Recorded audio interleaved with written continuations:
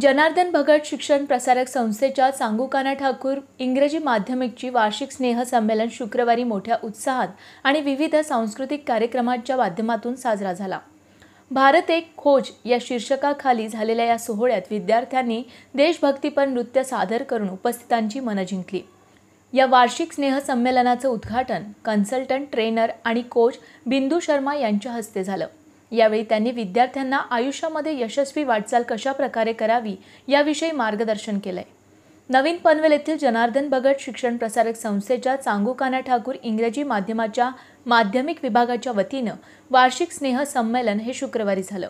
भारत एक खोज या शीर्षकाखाली आयोजित करण्यात आलेल्या स्नेहसंमेलनाचं उद्घाटन कन्सल्टंट ट्रेनर आणि कोच बिंदू शर्मा यांच्या हस्ते झालं. यावेळी त्यांनी विद्यालयात भरवण्यात आलेल्या प्रदर्शनाची पाहणी केली.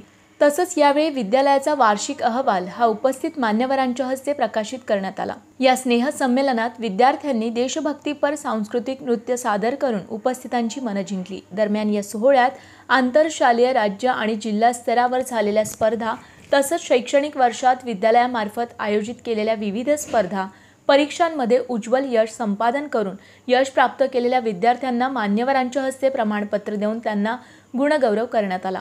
या स्नेहसंमेलनाच्या कार्यक्रमाला विद्यालयाच्या माजी विद्यार्थ्यांचीही उपस्थिती लाभली असून त्यांनी विद्यार्थ्यांना आपल्या शाळेतील आठवणी सांगत त्यांना मार्गदर्शन केलंय. यावेळी जनार्दन भगत शिक्षण प्रसारक संस्थेचे संचालक तथा पनवेल महापालिकेचे माजी नगरसेवक अनिल भगत माजी नगरसेवक तेजस कानपिळे संस्थेचे सचिव doctor S D Kadde Bhausaheb Thorat मुख्याध्यापक संतोष चव्हाण पर्यवेक्षिका अधुरी निर्जा माजी विद्यार्थी doctor Apeksha Mate doctor Bhushan Sakhardande CA ए प्रियंका पुरोहित यांच्यासह विद्यार्थी पालक आणि मान्यवर मोठ्या संख्येनं उपस्थित होते.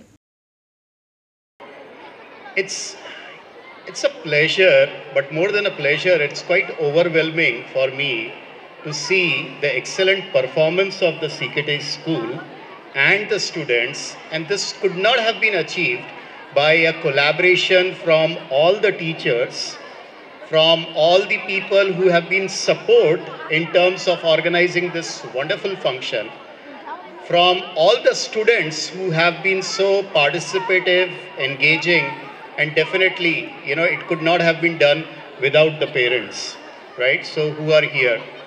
Uh, for me, you know, when I, I was thinking really what, what is the messaging that I need to pass on to the parents as well as to the students out here.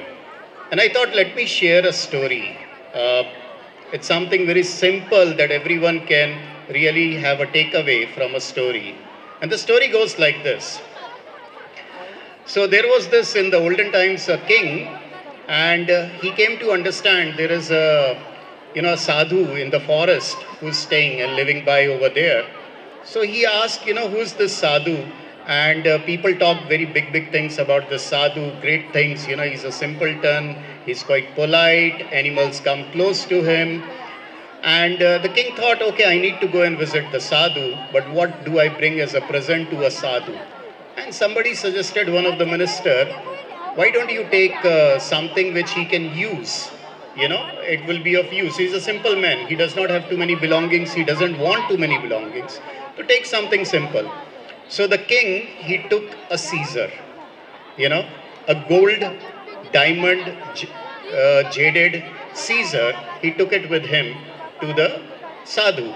And the sadhu saw, he greeted the king and he took the scissor and then he respectfully told the king, you know, instead of giving me a scissor, give me a needle. And the king was perplexed. Why is it so? Why is the sadhu asking for a needle? Because if you if you have a scissor, why do you need a needle? So the sadhu said, Well, you know what? scissor cuts, whereas the needle stitches together. And this is what was the most important thing, what I saw, that without all the people out here, you know, collaborating, connecting, coming together, stitching the different fabrics, this function and this school and this, um, what I must say, accomplishments and the accolades of the students would not have been possible. So I would like all of you to give a round of applause to all of yourself. Please give a big round of applause to all the students, all the teachers, and to yourself.